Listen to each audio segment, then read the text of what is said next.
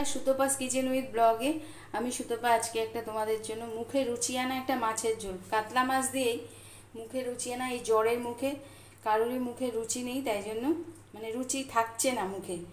সেই জন্য একটা মুখে রুচিয়ানা মাছের ঝোল নিয়ে তোমাদের সামনে এসেছি। ভালো লাগলে সাথে থেকে একটু দেখতে থাকো।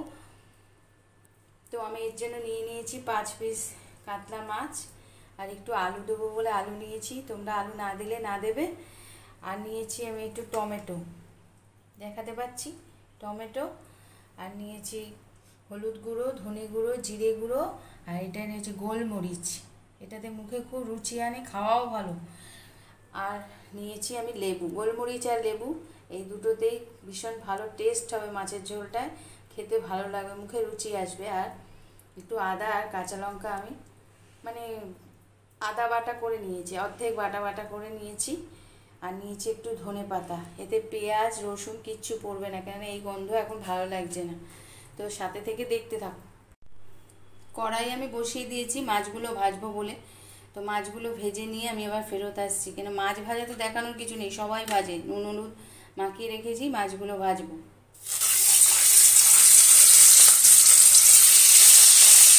মাছগুলো ভাজা আমার হয়ে গেছে সব লাল লাল করে। তুলে নেব মাছগুলো।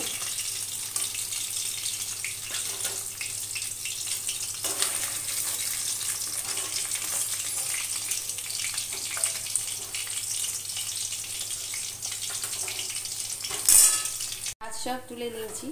এবার আমি আলুগুলো ভাজবো। এগুলো খুব নিউ নর্মাল পদ্ধতি। শুধু কি কি দিয়ে মুখরোচকটা করছি সেটাই দেখা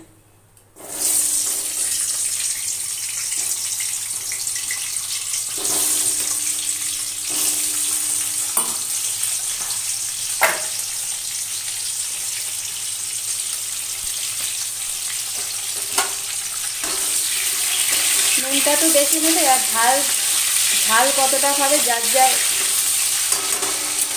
পছন্দ মতো দেবে। আলুটা ভাজার সময় আমি টমেটোগুলো দিয়ে দেবো। আলুটা একটু ভাজা হোক। আলু আর টমেটোটা ভাজা ভাজা হয়ে গেছে। এবার এর মধ্যে আমি আদা আর কাঁচা লঙ্কা যেটা থেতো করে রেখেছি এটা দিয়ে দিলাম। খুব অল্প মশলা এটা করছি। খুব অল্প মশলায় করলে এটা ভালো লাগবে।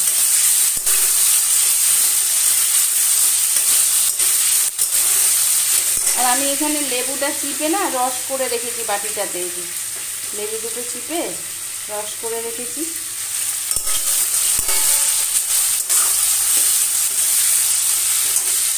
এবার এই মশলাগুলো সব দিয়ে দেবো। গোলমরিচ, জিরে, ধনে, না গুলেই দেবো, এটা তেলে একটু ভেজে নেব। তাহলে গন্ধটা ভালো হয়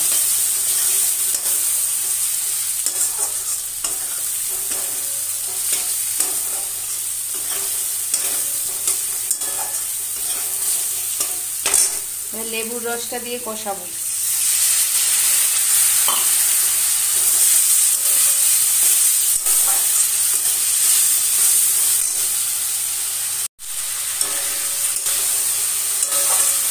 গোলমরিচের ঝাল আর আমি কাঁচা লঙ্কাও দিয়েছি।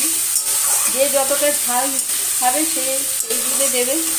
এটা একটু ঝাল ঝাল আর টকটা খুব ভালো লাগবে মাছগুলো দিয়ে দিলাম এর মধ্যে, কষিয়ে নেব।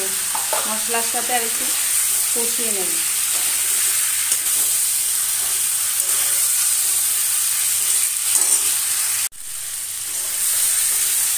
কষে গেছে, দিয়ে দিলাম জল।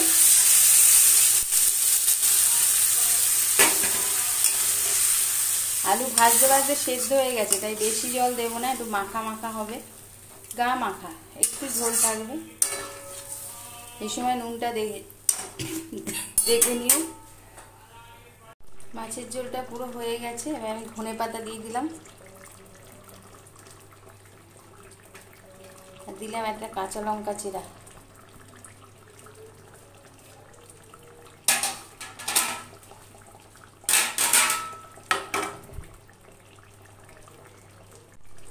গ্যাসটা আমি অফ করে দিলাম।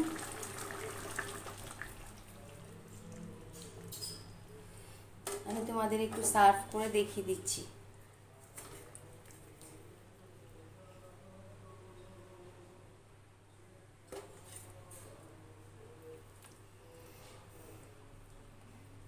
নুন ঠিক আছে একদম।